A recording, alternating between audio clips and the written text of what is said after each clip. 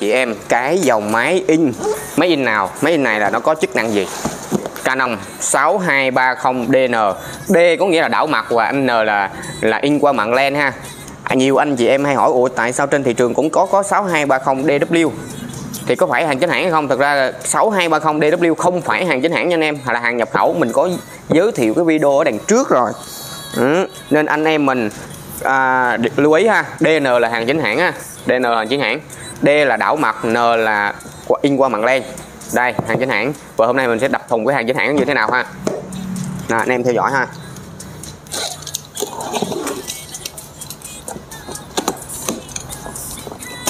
Rồi cái việc đầu tiên anh chị em mình gì coi ha. Hàng chính hãng này anh chị em. Việc đầu tiên anh chị em là, là gì có cái phiếu. Cái phiếu này nè phiếu bảo hành của Canon ha. Cứ anh chị em thấy cái hàng cái phiếu này là là, là hàng chính hãng rồi rồi sách bảo hành ha. Dây cáp ha. Cáp nguồn nguồn rồi. Rồi có đĩa. Đĩa cài luôn anh chị em ha. Đó. rồi thì hôm nay mình sẽ đập thùng cái cái này nó như thế nào ha? Rồi khi mà anh chị em nhận máy á, thì anh chị em sẽ thấy cái dòng nó như thế này. Đó. Và cách phân biệt của nó như thế nào. Và vóc dáng của cái máy bên trong á nó nhỏ hay nó to? Tại vì nhiều anh chị em thấy trên hình, trên Google thôi. Không biết là thấy nó có bự hay không. Đó. Nên hôm nay là mình quay cận cảnh luôn, để cho anh chị em thấy được cái cái vóc dáng của nó có hợp với là cái diện tích trên cái bàn làm việc của mình hay không. Mọi người coi ha. Đây, mọi người coi nè, máy nè. Đó, mọi người thấy không? Nó nhỏ không? Chậm nó mình quay trên cái bàn làm việc ha. Rồi, anh chị em mình coi cái máy này nó còn siêu hết ha. Mới và cách khi mà gì sẵn đây mình có video mình vừa giới thiệu mà mình vừa cái hướng dẫn cho anh chị em mình cách lấy cái hộp mực ra trước khi này để gỡ cái này ra. Đó gỡ cái này cái, cái miếng mốt này ra ha. À, gỡ mốt này ra. Sau đó anh chị em mình kéo từ từ kéo cái hộp mực này ra ha. Kéo hộp mực này ra. Sau đó anh chị em gỡ cái lẫy cam này. Nếu như anh chị em mà không gỡ cái lẫy cam này ra thì anh chị em thì in không được. Giấy nó lên tới đây nó kẹt lại à, có những trường hợp mà à, mình bán cho những chị phụ nữ có những cái bên mình thì thấy nó rất là đơn giản nhưng mà nhiều anh chị chưa gặp lần nào nên anh chị để ý chỗ này ha. Đó lấy cái này ra cho mình. Rồi và anh chị sợ hư á.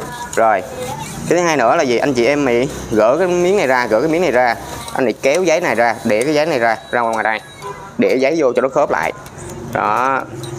Rồi và cách nhận biết cái hàng này là hàng chính hãng á, anh chị em để ý con tem của nó ở dưới này con tem này mọi người coi con tem ha. Con tem này chính hãng. Dán dưới này nè mọi người. À, quay cận cảnh anh chơi coi ha. Đây đó con tem ha lê của lê của mình luôn. Rồi. Rồi cái này nó có cái cái len nó là len như thế nào?